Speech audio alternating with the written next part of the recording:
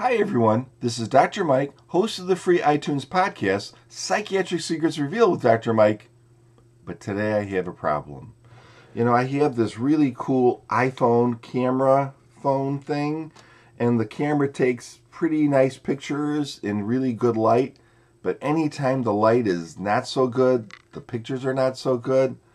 And then I have this like awesome Sony RX series camera. It takes really wonderful pictures for a compact camera, almost DSLR like. But it's kind of a pain if I want to upload something to Facebook or do something else with it because I have to, you know, take the card out and put it in the computer and then upload it and everything. If only there was a way that I could fuse these two items together, it would be a perfect world. Thank you, disembodied hand. What's this? It's that fake magic wand that I bought from the big theme park for my son. I thought it was outrageously priced at the time, but maybe, just maybe, I'll be able to use it now. Now, what did they say in the movie? It was flip and swish, swish and flip. I can't remember. I think it's swish and flip. Holy cow! It converted into a box! What a chip! Wait a minute. I think there's something in here. What do we have? Paper? More paper? This lens-like contraption, which already has attached to it a fiddly thing to attach it to the camera. A little stubby USB cable. One of those wristy thingies. What's this piece of paper?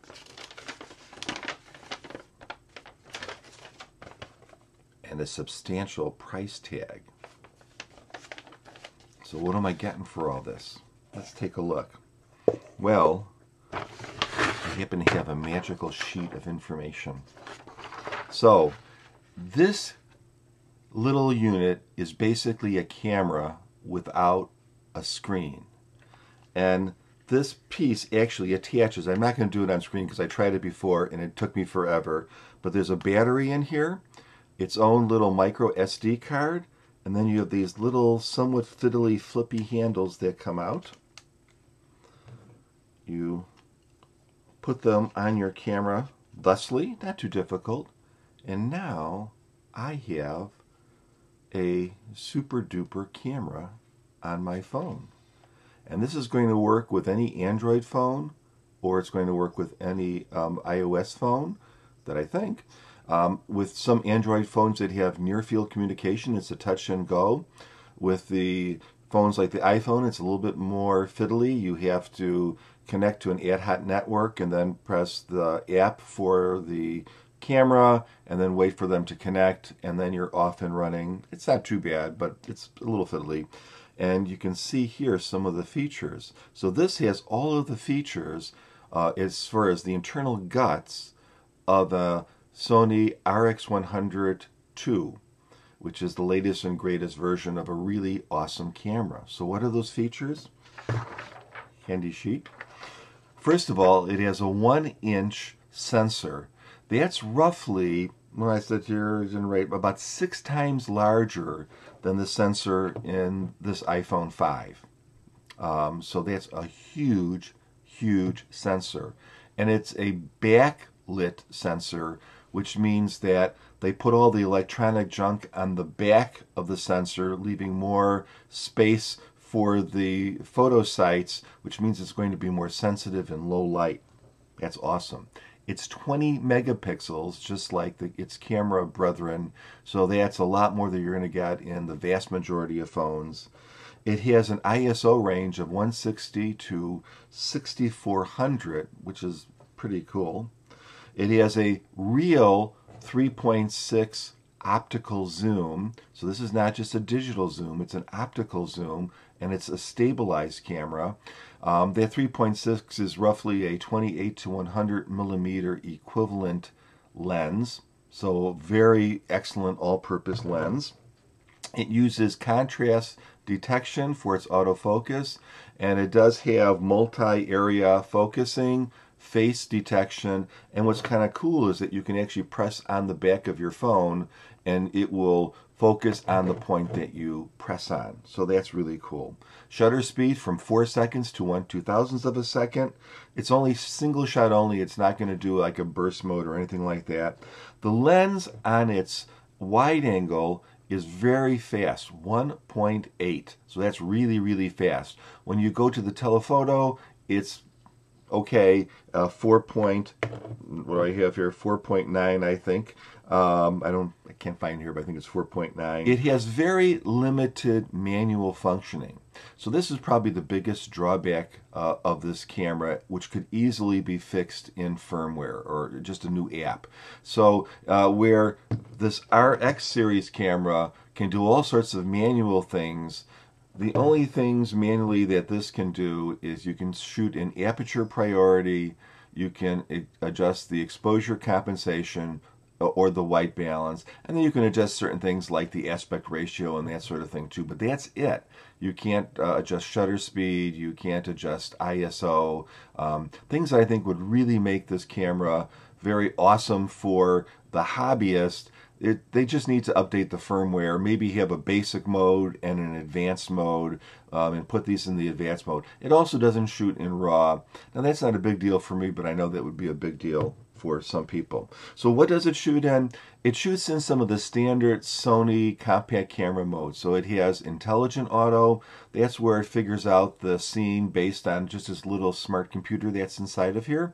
It has super intelligent auto, which means it takes, takes a burst of several shots, and maybe two shots, maybe six shots, and that's usually in low light or bad lighting conditions. In those situations, it will then actually put those shots together to get a sharper and less noise image. And that sometimes works really really well this super intelligent auto. It has an aperture priority mode. It has a program mode which basically just lets you adjust the exposure compensation and that's about it you know, add to that a couple of white balance settings, add to that some aspect ratios, add to that um, a few other things, and that's that.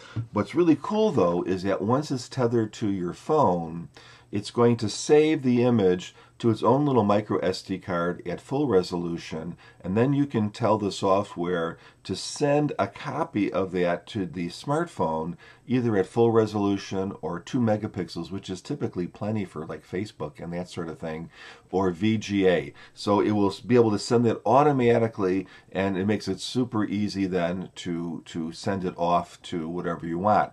There's also part in the app where you can automatically just press like send to Facebook or send to, to um, uh, an app. Let's say if you have some sort of a um, picture app or photo app modification app, uh, you can send it directly from the app, and that's pretty convenient too. All right, so what what is missing on this awesome conceptual device? This concept is so awesome. Well, one thing that I think um, that you can't put on here, but you could in future versions, and that would be some sort of a flash. I mean, even some little LEDs that would pop up or something. So many times you need that fill flash. It makes all the difference in the world, or you're just in too dark of a situation, or you need that little pump to get a good focus. Um, and it just doesn't have that. And I think it's it's feasible to put one of those on here. It does have its own battery, by the way, so you're not going to be using up the battery on the cell phone. Um, and it does, of course, connect easily with USB right here. Uh, and there's your, your little micro SD card. It also has a few simple manual controls on the side and a tripod mount on the bottom.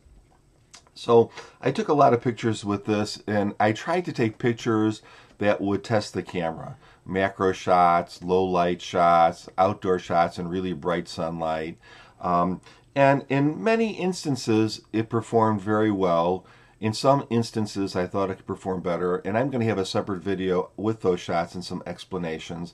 I also tested it in movie mode. I found that in movie mode, it tended to also perform pretty well. Um, I didn't do any zooming on the test video that I'm going to post because it was a low light video, um, and I just didn't do any but I have zoomed and you don't get a lot of noise uh, with the zooming, so that's pretty good too. But the main problem that I had with this camera, at least with iOS 7, is it kept on freezing up. And in a maybe 35 minute walk that I took around uh, the neighborhood, it literally froze up at least five times. I had to get out of the app, actually double click and, and remove the app from from the uh, processing of the of the smartphone to get back online. And that happened, I said at least five times when I was on a walk. It's happened a couple of times when I was at home taking some shots. That should be easily correctable with a app um, like little update. Uh, also, I think Sony was mistaken by not putting in some of these more advanced features for this relatively expensive little gadget. And uh, those features are available because its camera brethren does do those things.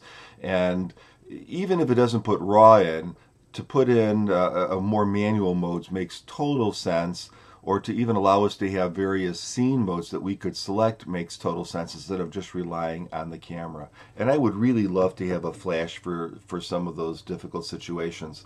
So based on this, I think it's a really awesome concept. I think it's something that is groundbreaking. And again, my hat's off to Sony for thinking, there's my goofy glasses, for thinking of of such a clever idea. It is a little bit it is a little bit fiddly to use and uh, but it does work and it does take very good pictures but i think the fact that it was freezing on me was incredibly frustrating um, I don't know how much more convenient it is using this getup than it would be to use a camera that had some sort of Wi-Fi built in, um, and that might be a lot faster and easier to use.